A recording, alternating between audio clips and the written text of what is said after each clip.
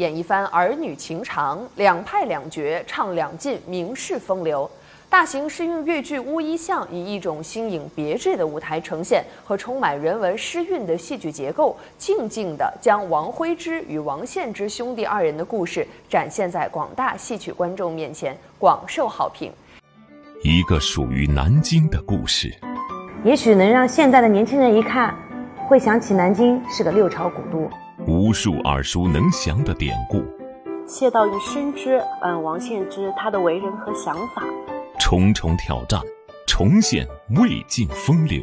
当中有很多典故，就是如果细细道来的话，还蛮娓娓动听的。魏晋风流大型诗韵越剧《乌衣巷》，戏影百家正在播出。那今天呢，我们非常的开心，邀请到了《乌衣巷》的几位主演来跟我们聊一聊《乌衣巷》这部剧台前幕后的那些小故事。那首先呢，让我们欢迎啊李小旭和冯越两位，欢迎主持人好，观众朋友大家好。啊，那我也知道两位是在这个我们这个《乌衣巷》的这部剧里面也是担任主演啊。我想知道，这第一次我是听说，呃，有这么介绍一个。越剧的叫做原创诗韵越剧是吧？以前没有就会这么去形容一个越剧，这一次为什么会有给他加了这样的一个前缀？嗯，首先呢，我听编剧罗周，他当时这个剧本的灵感来自于我们的《世说新语》这本书，然后呢，还有就是南京的六朝文化。当然，大家都知道南京的六朝文化当时有很多出现了很多文化氏族，它当中出现了很多典故。编剧呢，很巧妙地把它画在了人物上身上，或者是嫁接到了剧中的折子戏当中，所以呢，嗯，有很多典故，所以我们把它称为诗韵越剧。其实《乌衣巷》顾名思义，它就是说了很多关于旧金陵的一些呃名门望族的一些故事。那在这个之前有没有演过像类似这样子题材的越剧？我还是没有接触过，所以这个还是第一次。冯越呢？对，也没有。嗯，那所以说这一次是。嗯，你们知不知道编剧是什么样的一个想法？我们想来说一说南京的这些，呃，名门望族的这些故事。啊，首先编编剧罗周呢，两句曹语讲，然后大家都知道他最厉害的就是，呃，六朝文化，他非常的在行。那编剧罗周当时就说，嗯，应该从六朝里面挖一则故事，而把很多典故画在里面，也许能让现在的年轻人一看。会想起南京是个六朝古都，它六朝古都当中存在了注重它文化的这一部分，对对，嗯，所以他就做了一个这样的戏。是。如何将传统与现代有机的结合在一起，是近年来南京市越剧团一直在思考的问题，而大型诗韵越剧《乌衣巷》便是他们为此进行的一次大胆探索。透过《乌衣巷》内王氏兄弟的为人处事。真情真帅，以小窥大，让观众体味魏晋风流的独特魅力，讲述属于南京的最独特的故事。我也很好奇，这个它既然叫做诗韵越剧，那它应该是跟以往传统的越剧在形式上，或者是编排上、戏剧结构上，应该都是有一些区别的，是吧？对对。那能不能跟我们说一说都有哪些区别？嗯。首先呢，它比如说以前我们都会以叙事的，让观众觉得看了这个，嗯，下面该发生什么了。然而这个呢，如果说我们在上面演的话，也许观众会说，哎，这个典故我们知道啊，他说的是那个故小故事，他可能会联想起他所呃平常接触的一些文化信息，比如说第一场里面就有呃坦腹东床，很有意思。当年王羲之在被席家择婿的时候，所有人都说。哎呦，我们要做做好啊，正襟危坐的，要等那个岳父来选我们，未来岳父选我们。只有王羲之一个人，躺躺卧东床，敞着大肚子，也可能是天太热了也 也好。王导就让呃席间说：“你去东厢房选吧。”然后去一一看，看到那个王羲之老爷是躺在东那个床上的，他就说：“那我就要他了。”然后呢，就是编剧很巧妙的把他画在了我们第一场当中王徽之的身上。那么。我想，如果我是个观众的话，我一听啊，这个典故我知道，还有那个第二每一场都有，要细细道来的话有很多。嗯，中间值得一提的也是雪夜仿席，仿席呢很著名，是雪夜仿带而画过来的，把它嫁接过这个戏来的。本来的故事是王徽之雪夜里面去访他的一位好朋友，嗯，戴安道。之后呢，他乘船去了，终于走了一个晚上，到了，他到门口，他想想不去了，我不进去了。那他的家人就问他为什么不去啊？他说我乘兴而来啊，我兴尽而归。嗯，那也是很有意思的这一则典故。我们这边把它画到仿戏当中来呢，就观众也会想到那个雪夜访戴的故事。当然，在现实当中呢，确实也是雪夜访戴，因为我们演习道貌的女主角她叫戴丽君嘛，所以我觉得冥冥之中这也是一种巧合。嗯嗯所以就刚好让她演了这个角色，对对，当中有很多典故，就是如果细细道来的话，还蛮娓娓动听的。妈妈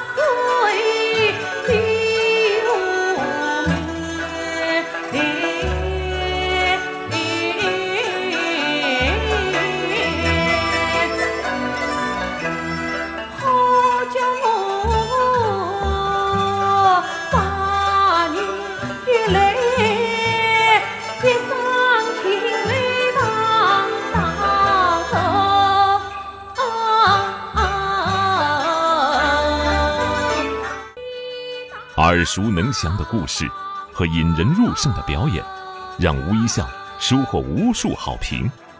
这其中大量基本功的运用与展示，更是让观众大呼过瘾。聚光灯前的那一刻精彩绽放的背后，却是演员们无数的汗水和磨难。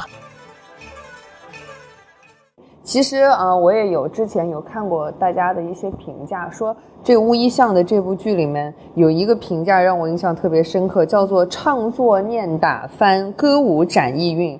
说这个戏里面有非常非常多基本功的展示，而且还是挺有难度的，对吧？所以在这一点上，两位演员表现起来，或者是前期排练的时候，有没有遇到一些困难？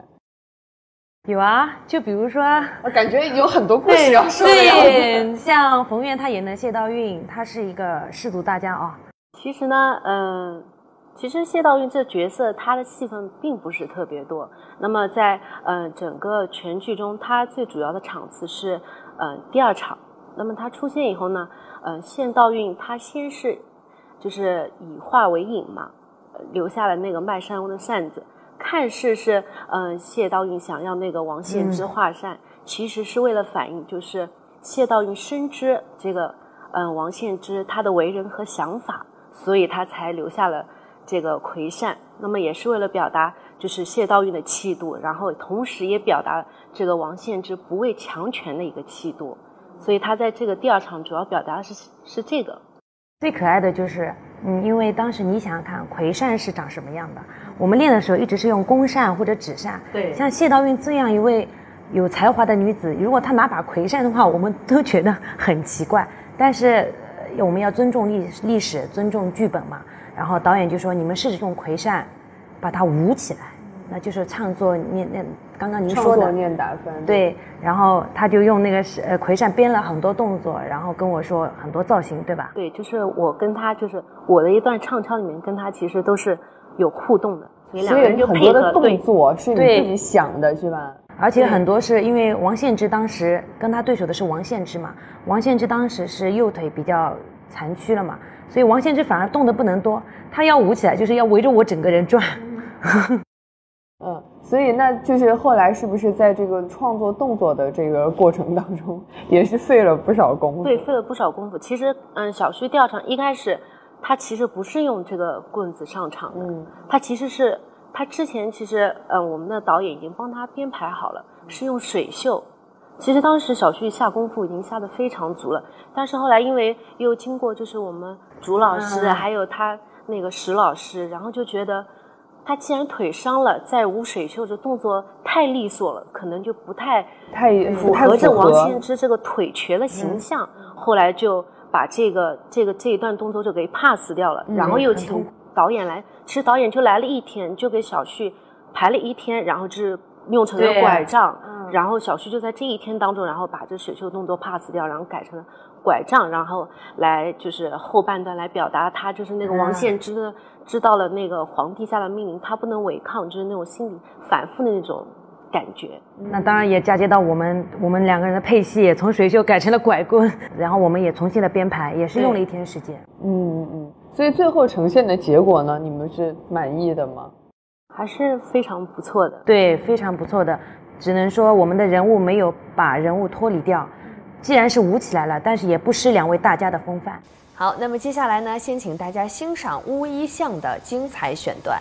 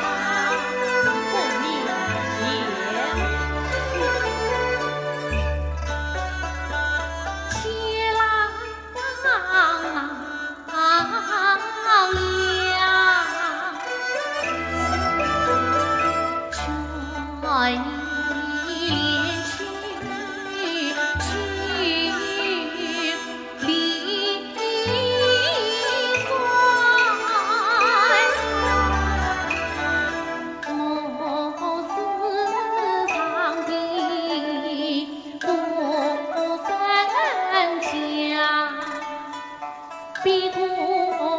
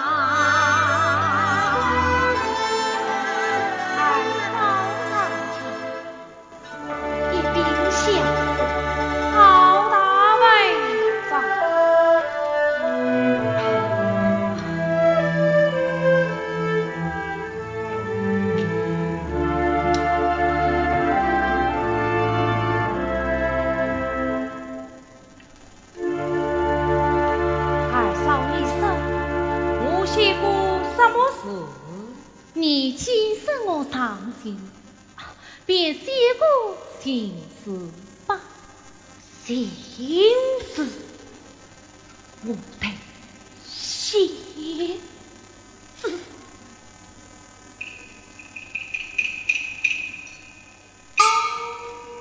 呀，这个裙子怎么多了几画？七郎差异，这哪是什么形字？分明是一个“仓”，是一个“仓”字，乃启仓伤心之仓。我错了，错了，错了。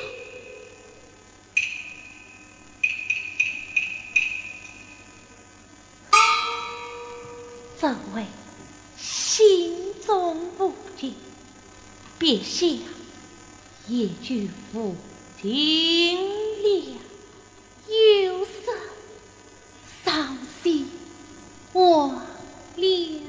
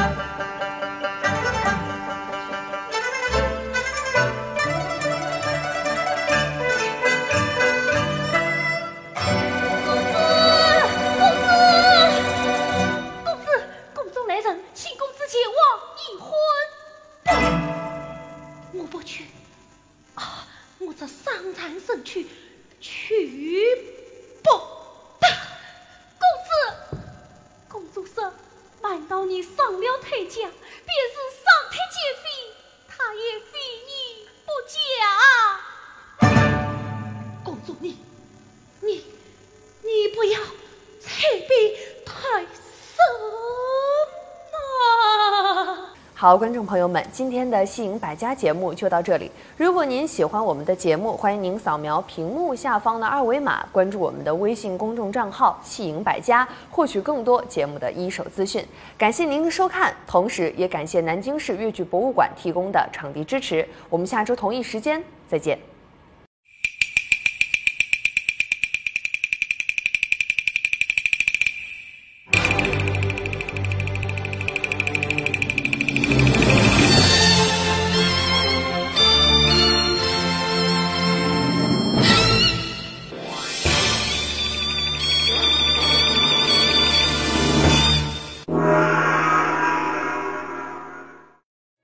上期节目，来自南京市越剧团的李小旭、冯月，为我们讲述了越剧《乌衣巷》台前幕后的故事。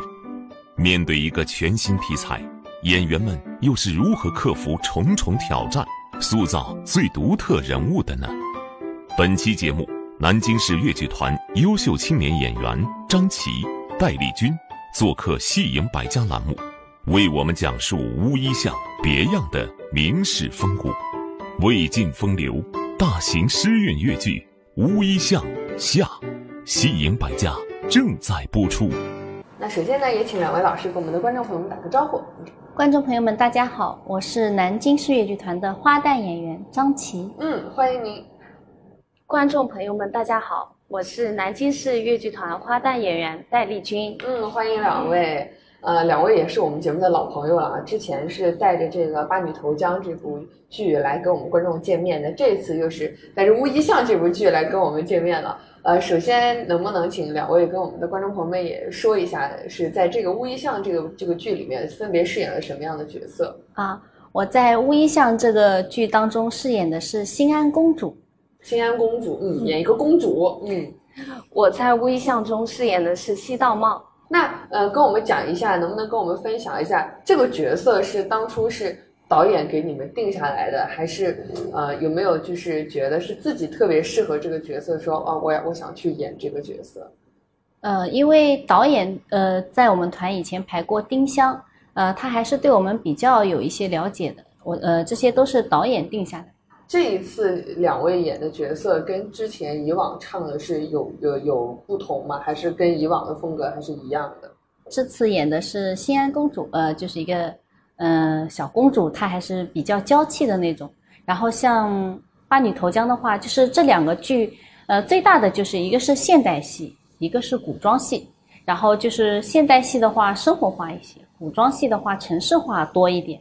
而且这人物性格也是不太一样的，就是现代戏的话，嗯，就像我们演的八女投江啊、丁香啊这些人物，冷云和白丁香，她都是比较有信仰的，嗯，是在那个就是抗战期间的一些故事，就是比较有爱国主义精神、比较刚毅的那种人物。然后，呃，新安公主的话，她是就是可能范围小一些，她是为了自己的爱情执着，就是说她喜欢。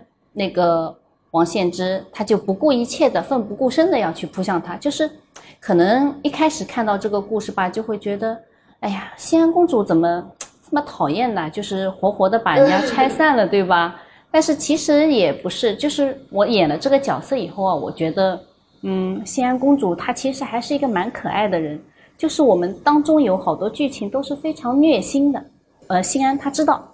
呃，他可能对我的话就是一些责任，就是我跟他结了婚，他为了家庭或者什么跟我在一起，然后就是说他的心可能还是是在那个席道茂身上，但是我不管，我是不顾一切的，只要我喜欢你就可以了。我觉得他还是比较符合现代女性的这种观念的，就是不顾一切的，反正我喜欢就行，说不定我可以打动他的，就是这样。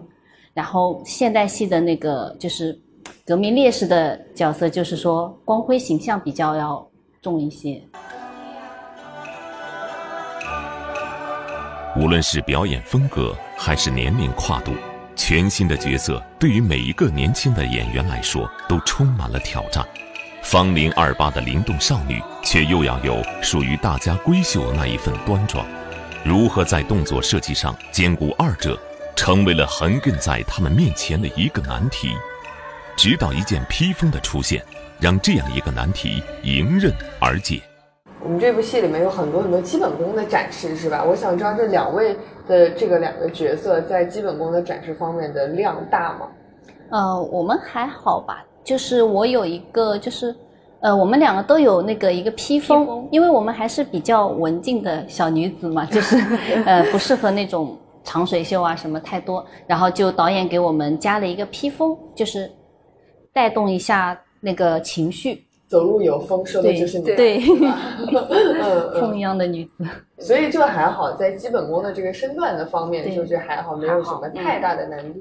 那你们两位觉得在饰演这两个角色的时候，最最大的难度是？因为就是说，呃，我们这个戏的话，它还是一个比较有内容的戏。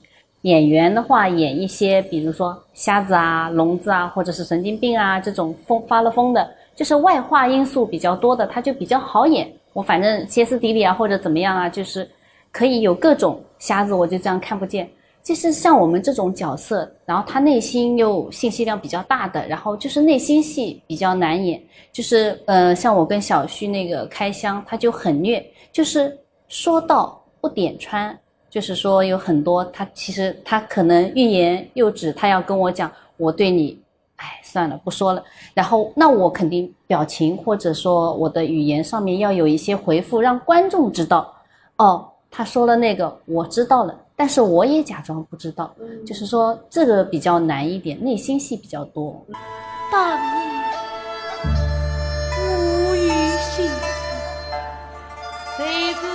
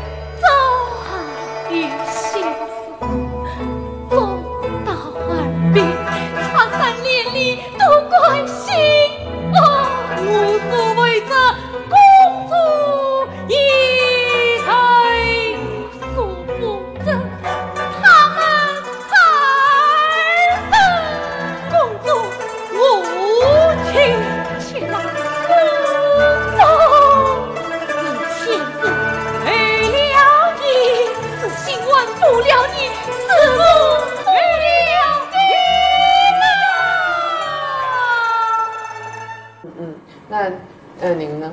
我的话，我觉得，呃，就是两个，因为我西藏帽他前半场是小姑娘嘛，十六七岁的，然后后半场就是十六年后了，就是他就是要从一个嗯十六七岁那个就非常活活泼的这么一个跨度比较跨度比较大，然后就是他那个比较活泼的性格，然后就一下子要很短的时间内，因为他一场戏也就两个小时的样子，然后就第一场演完，马上要进入到下一下半场戏，就是化妆都有皱纹了，对，就是化妆这些都有皱纹，中年对，然后就是在他的性格上面，这就一下这年龄就上年去年龄就跨度比较大十六年后他就是一个。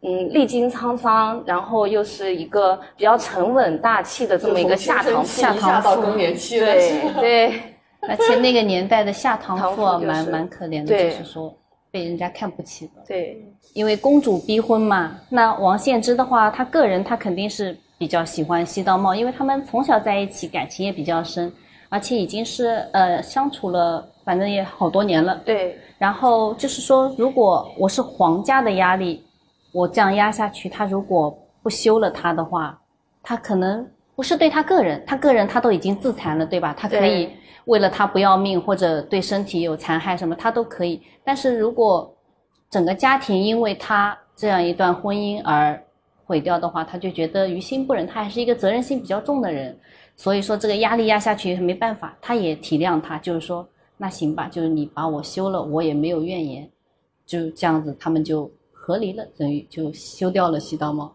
呃，那戴丽君之前演这个西道茂的时候，有没有想过第一时间我想去用什么样的方式去诠释这个角色？第一场的话，她是十六，我刚刚也说了，就是十六七岁的小姑娘，比较又比较活泼的这种，然后在她的眼神啊，然后动作啊、形体啊，然后表演上唱，包括唱腔念白，就是会像小花旦一样，就嗯比较灵动一些，节奏快，节奏会快一点，然后包括她的台步啊、圆场啊这些，比呃相比后半场的话，就是会稍微轻快一些这样子。我也想知道，就是呃这个新安公主这个角色哈、包括之前对照之前您塑造过的那些角色，你觉得呃，是不是每一次我塑造一个角色，其实都是跟以以往是有挑战、有突破，差距都还蛮大的？对，就是说，呃，因为我们在学校的时候，可能学的传统戏比较多一点嘛，嗯那就是呃呃小姐公子后花园这种故事，然后就是比较正常的一般家庭里面的大家闺秀啊，或者小家碧玉啊。然后这次是我第一次演皇家的，就是说公主就是要对，就是说可能大家闺秀我就稍微收着一点啊，这样做做动作，然后小家碧玉我俏皮一点啊，然后这个公主的话，你不光是要收着，你还得有那个架子要抬起来，因为对出，来而且那个服装老师也很用心，做的那些服装都是哇很很辉煌的那种。那我们做啊对做演员的话，就要把那个。呃，你的造型啊和服装啊，充分的利用起来，对吧？就是比如说你这个袖子你要怎么样啊？那种就是不像呃传统戏，我投个水袖，我撩个袖子，挡个脸什么的，就是他这种就是就是气势磅礴的那些动作，就马上自己要发挥，要去对呃，在这个上面去下下功夫了，我怎么样的啊出体现，就是通过我的一些动作体现这个人物的性格和特征。而且我们单位的一些老师也非常的好，就是对我们也很关心，给我们很多帮助，在就是一些表演上面也给我们提出很多宝贵的意见。到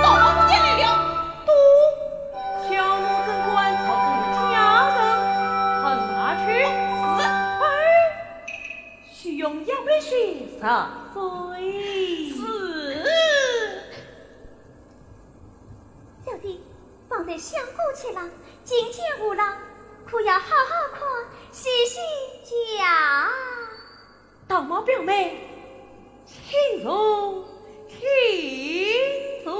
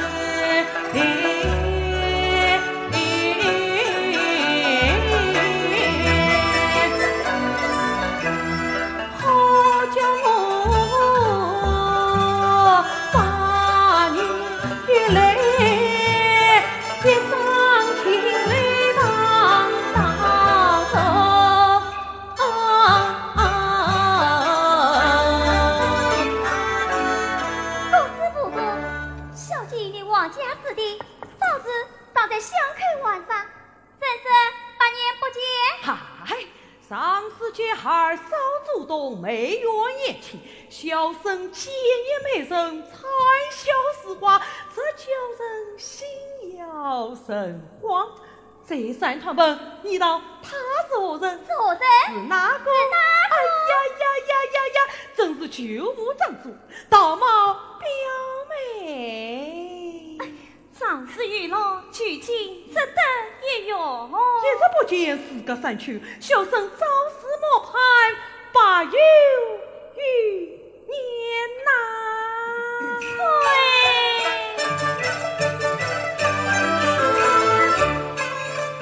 陪他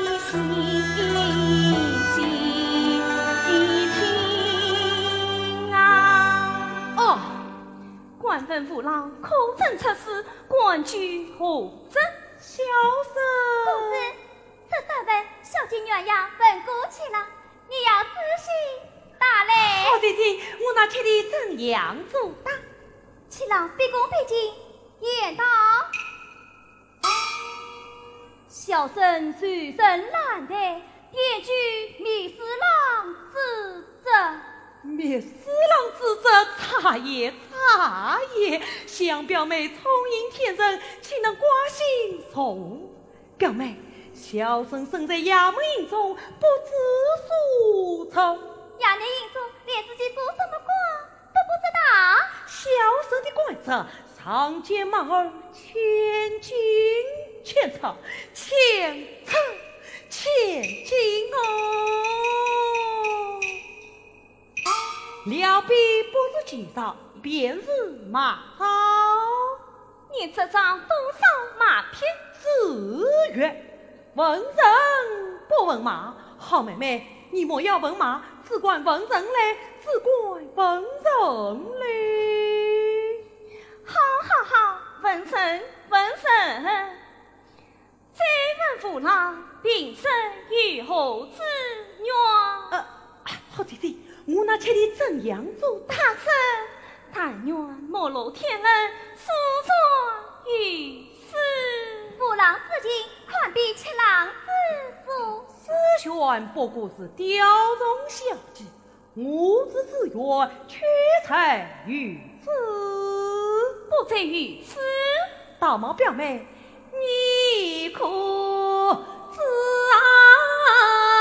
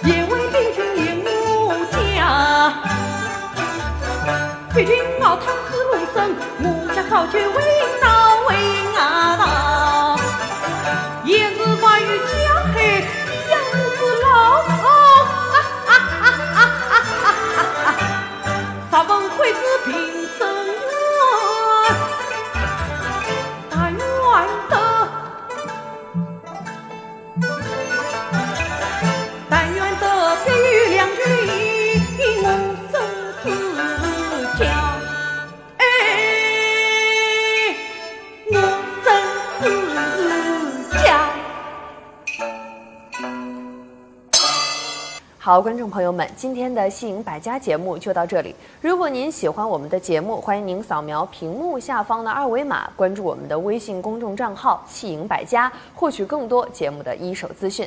感谢您的收看，同时也感谢南京市越剧博物馆提供的场地支持。我们下周同一时间再见。